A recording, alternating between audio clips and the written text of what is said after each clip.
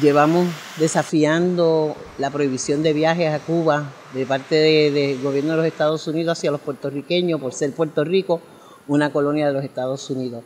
En esta ocasión venimos en un momento muy especial.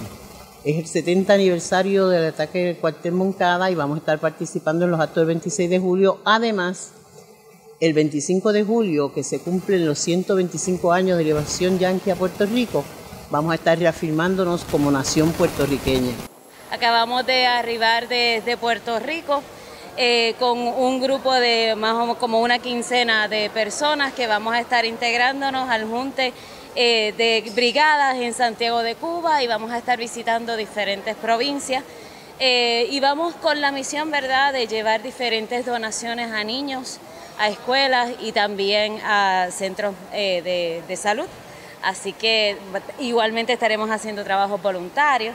Eh, creo que vamos a darle experiencia nueva a nuevos brigadistas y a otras personas que, se, que vuelven de otras, eh, de otras brigadas que han eh, mantenido su compromiso firme con la revolución y en contra del bloqueo.